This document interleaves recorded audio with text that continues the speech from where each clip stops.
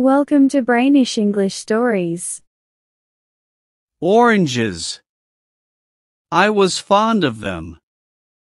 I used to eat them all day and every day.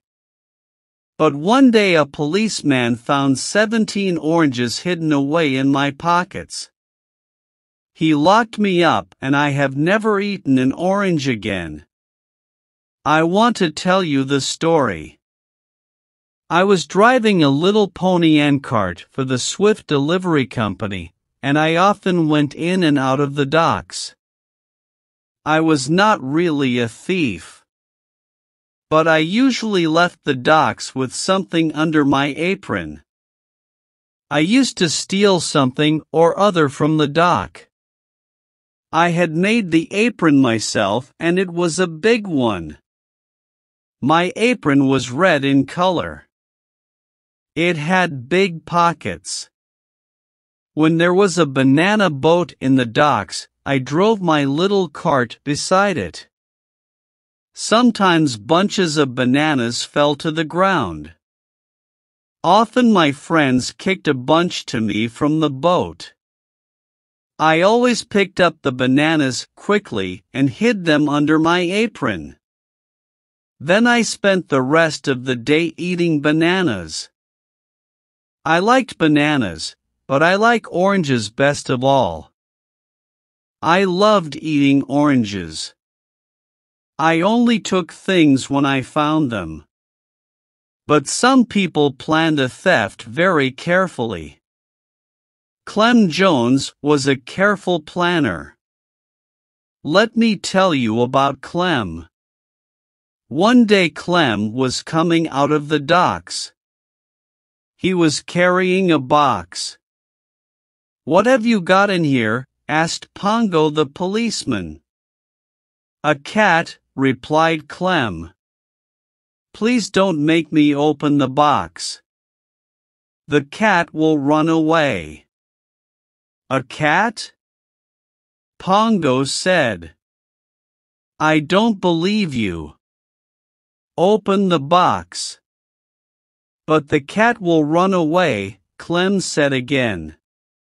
There isn't a cat in the box, replied Pongo. Open it up.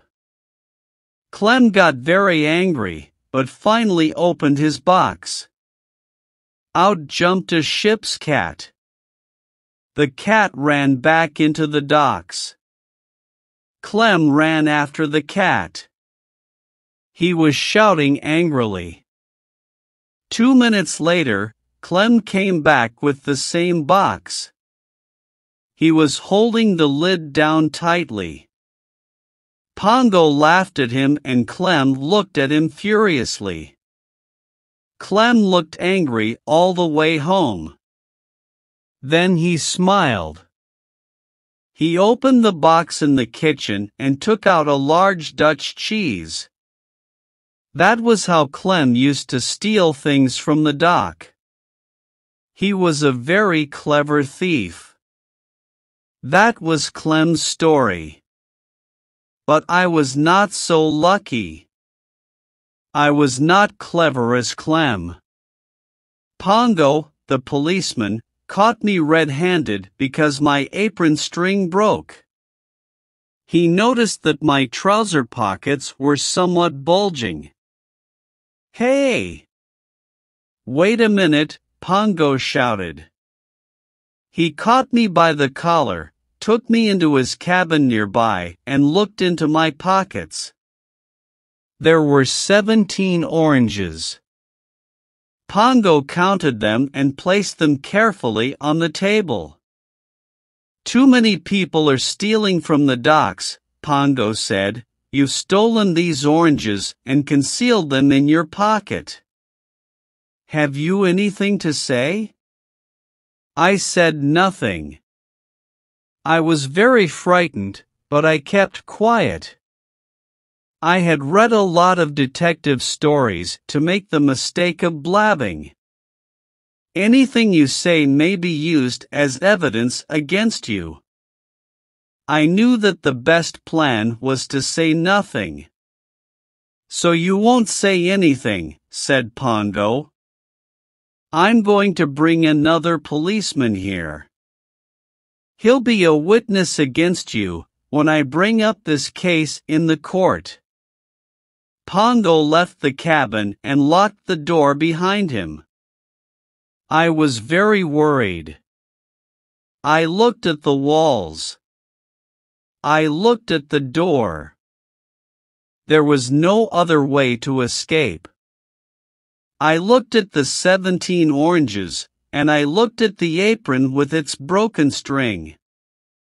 I'll lose my job, I thought. Perhaps I'll go to prison.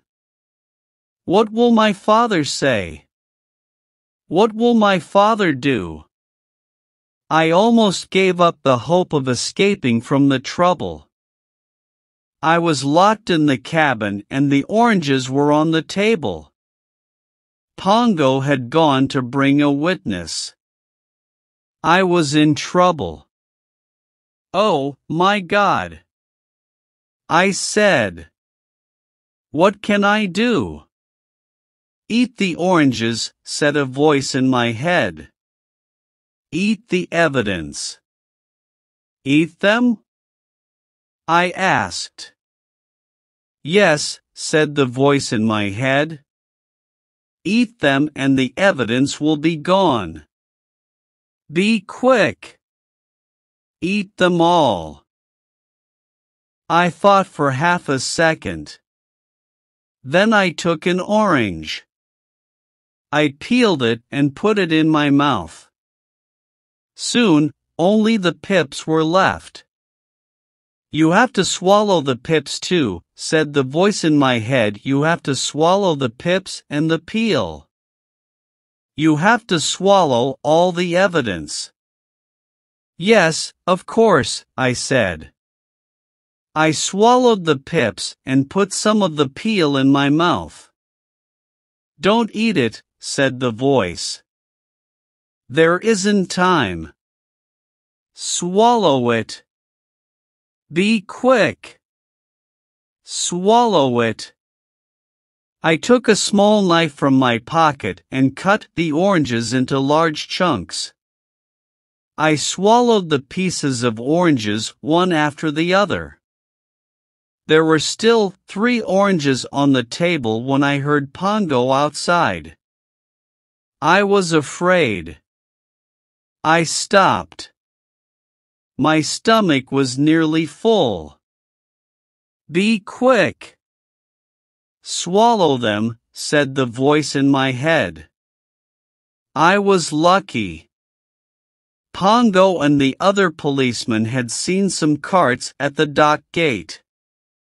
They went and talked to the drivers. This gave me a few more minutes. I must swallow all the oranges, I thought. Only three left. I swallowed the first one and then the second one. Suddenly the door began to open. I went through a great deal of struggle and finally managed to finish off the last piece of the last orange. Pongo and the other policeman walked in. This is the thief. Pongo said. I caught him with his pockets full of oranges. Then Pongo looked at the table and at first, he could not figure out what had happened. He searched the whole cabin. But he didn't find any orange or its pips. Where are the oranges? I can smell them, said the other policeman. I said nothing. Pongo looked everywhere for the oranges. He looked in my pockets. He looked in my apron. But he didn't find one orange. Finally, Pongo understood what had happened. But it was very difficult to believe. Seventeen oranges, he said. Seventeen big oranges. How did you eat them all? I said nothing. Pongo was not able to send me to prison. There was no evidence. The evidence was in my stomach. And no one could open it. Pongo became angry and shouted at me. But I didn't say a word. In the end, he had to let me go. I told Clem Jones about the 17 oranges. Pongo locked you in that cabin for half an hour, said Clem. He had no right to do that. Perhaps Clem was right. I don't know. I didn't have time to think about it. I had eaten 17 large oranges peels, pips and all. I felt very sick for a week and those oranges kept working away in my stomach. From that day, I didn't eat an orange. Every time I saw an orange, I felt sick. I stayed away from oranges.